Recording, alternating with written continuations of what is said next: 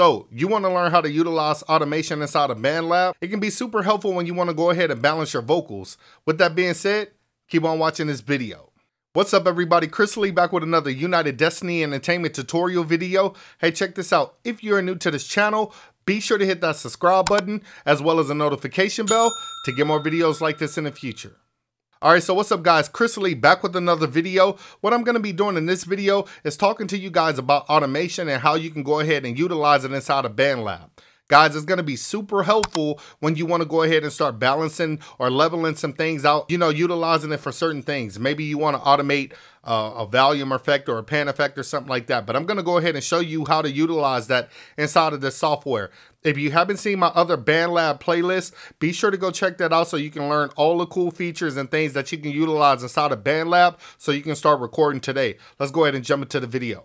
All right, guys, so check this out. This is something that I started recording inside of BandLab. Check it out. A new year for me. Ain't got no time for that fake shit. That smiling in your face shit. Make it real clear for me.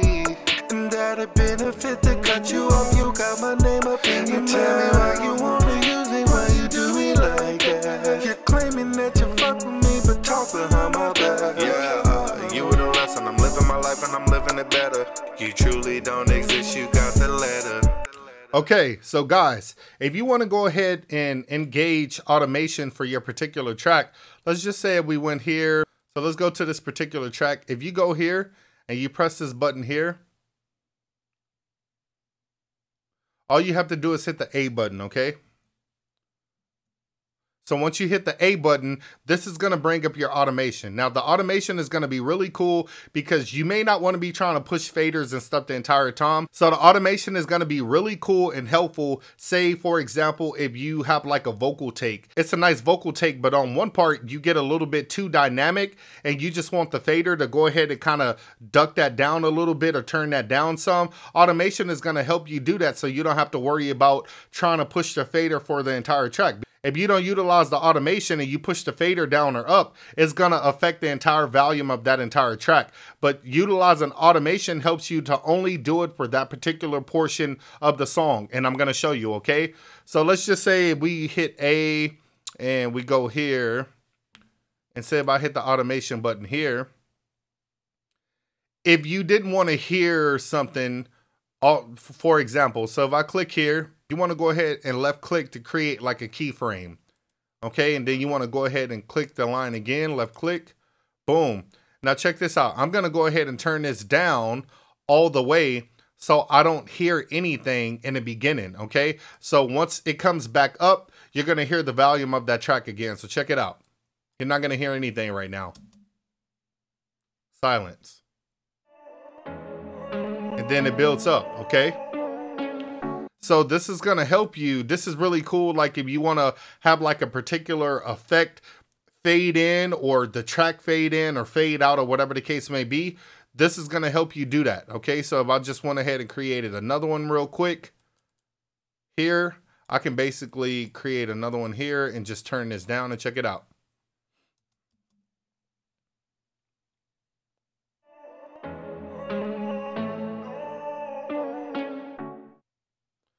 Okay. So that's what you can do as well. If you want to undo that, just hit Command Z or Control Z, depending on if you're on a PC or a Mac.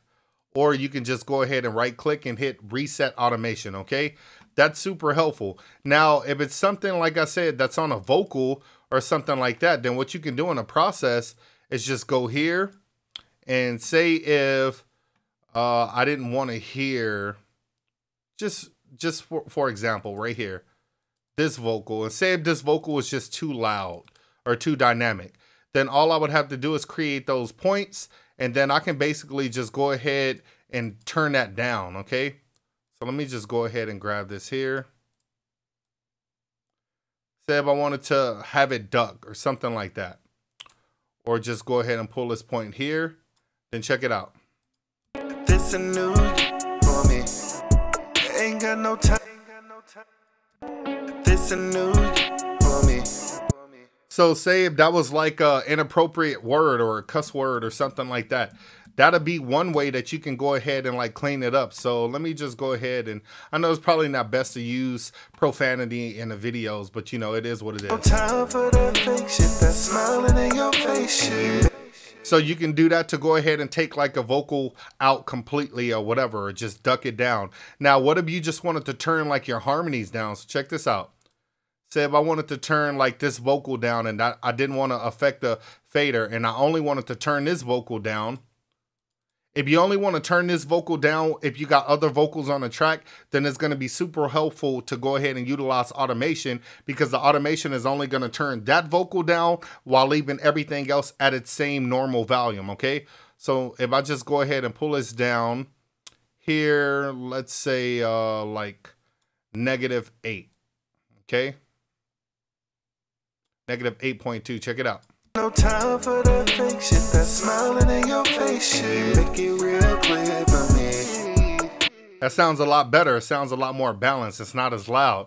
Now, if I go over here, this one is back to its normal volume. So this normal volume of this track is negative 4.3. So this is going to be negative 4.3 and this one is going to be negative 8, which I turned it to. Okay, so now if I just hit Command Z, or like I said, you can just right click, reset automation. Um, I can do this. Boom. I can turn it. I can actually turn it. Say if I wanted to turn it up some, you can just go ahead and increase it. Smiling in your face. Make it real clear for me. And that's obviously too loud, but you can see that you have that option to do that, okay? Uh, now, so we went ahead and reset the automation. What you also can do in the process is you can automate different effects, okay? So say if I wanted to automate the pan, okay? All right, so I want to go ahead and pan that vocal using automation. So I'm going to switch this to pan, and then I'm going to go ahead and create the point, okay? Boom, double click, double click, double click.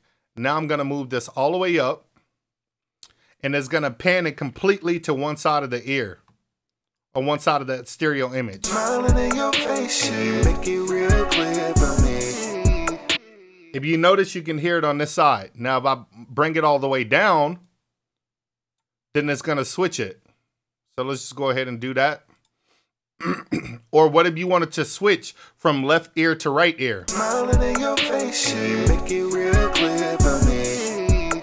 It went from one ear to the other ear, which is a really cool effect that I utilize in R&B music, and it's pretty dope. You can pretty much automate whatever you want inside of the software. Alright guys, so that's pretty much it for the video. If you enjoyed the video, go ahead and give me a thumbs up. Leave me some comments. Let me know what you think. I also want to know how do you utilize automation inside of your recorded DAW or how do you use automation inside of BandLab? Do you use it for vocals, instrumentation? Uh, do you utilize it for effects, panning, whatever the case may be? I would love to know down in the comment section, but guys, be sure to hit the like button if you enjoyed this video. Also, if you want to see more videos like this in the future, then I would highly recommend that if you're new here to hit the subscribe button. But if you haven't already, go ahead and hit the notification bell to get more videos like this in the future Go ahead and go check out my BandLab playlist so you can learn more on how to record inside of this software. Guys, as always, stay tuned for the next video.